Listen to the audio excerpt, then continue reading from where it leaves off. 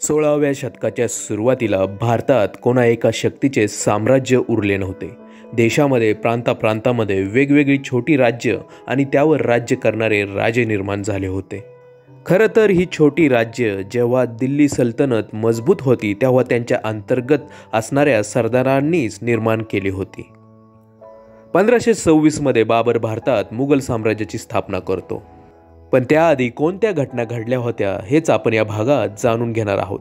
पण त्याआधी right to know या आपल्या यूट्यूब चॅनलला लाईक शेअर आणि सबस्क्राईब करायला विसरू नका. चला तर मग सुरुवात करूयात.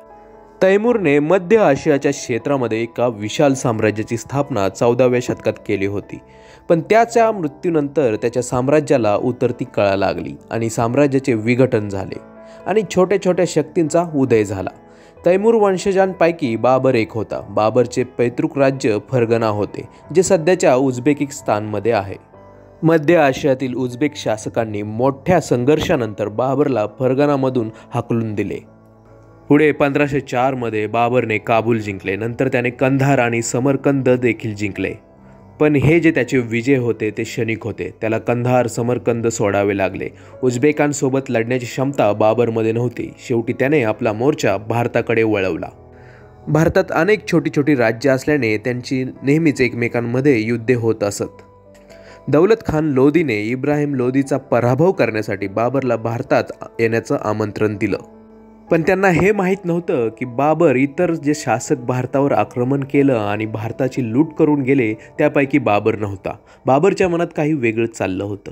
बाबर भारतात राहण्यासाठी आला होता परत जाण्यासाठी नाही.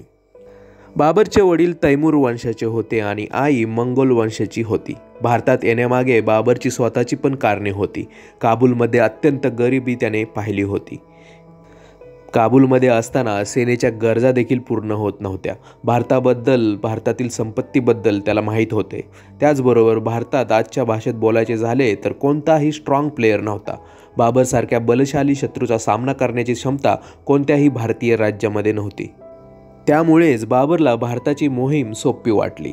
त्यासाठी त्याला अनेक युद्ध करावी लागली ही गोष्ट वेगळी आहे. जसं की त्याने पहिलं युद्ध केलं ते होतं पानिपतचे प्रथम युद्ध जे पंधराशे सव्वीस साली झाले जे इब्राहिम लोदी आणि बाबरमध्ये झाले. दुसरे युद्ध त्याने केले ते खानवाचे युद्ध जे पंधराशे सत्तावीस इसवीमध्ये झाले हे युद्ध राणा सांगा आणि बाबरमध्ये झाले. चंदेरीचे युद्ध पंधराशे अठ्ठावीसमध्ये झाले ते मेदिनी राय आणि बाबरमध्ये झाले. यावरील तीनही युद्धांमध्ये बाबरला प्रचंड यश मिळाले आणि अशा प्रकारे भारतात बाबरने मुघल वंशाची स्थापना केली.